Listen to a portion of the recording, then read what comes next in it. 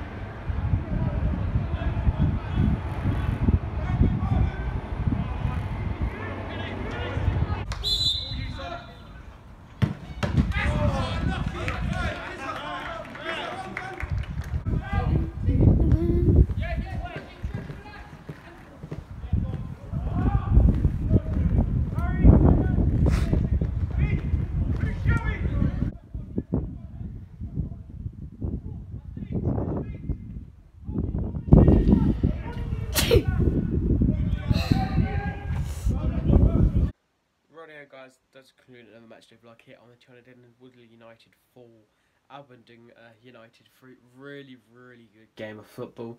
First half, I think it was 3 2, saw five goals in the first half, one penalty. Uh, it was really, really good end to end stuff. Soaking wet, but it was a really, really nice ground. Um, I think League Division 1 East, really would recommend it. Um, uh, if you're in the area, it's in Tilehurst, kind of Reading area. Uh, step 10 it was, 4 out of 13 in this league kind of system. League Premier Division, Reading City also play in this league, so that is another ground ticked off for me. Ground 78 today, uh, next week, uh, obviously, is Rotherham. There'll be two match day vlogs coming out for you guys very soon uh, from today's game, Sheffield United at home. Yeah, please do subscribe if you're new around here for weekly Reading FC vlogs and also ground hop videos as well. Please do subscribe, like I said, and yeah, like the video if you did enjoy, it, and yeah, See you guys very soon. Bye.